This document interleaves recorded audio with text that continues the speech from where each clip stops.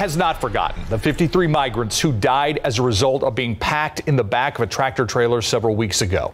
It was abandoned on Quintana Road in southwest San Antonio. But now that very space has turned into a memorial that continues to grow. The night team's Camelia Juarez takes us there.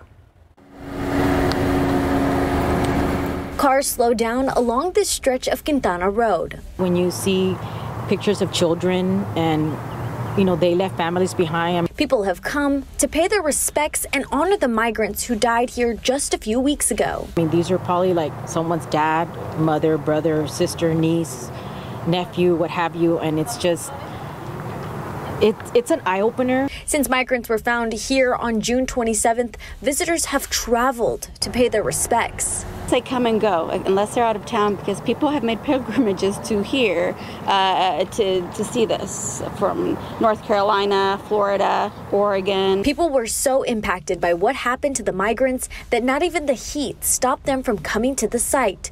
Among those people is Sandra Grace Martinez. She's been coming a few times a week to keep the memorial clean. She also used donations to pay for porta potties. And then there was rosaries that lasted two hours, and there was dances and, you know, uh, saging and all kinds of things. So people had to go to the bathroom. Other volunteers have been mindful of other visitors, bringing extra drinks, fruit, and ice to make sure people have what they need to heal and come together.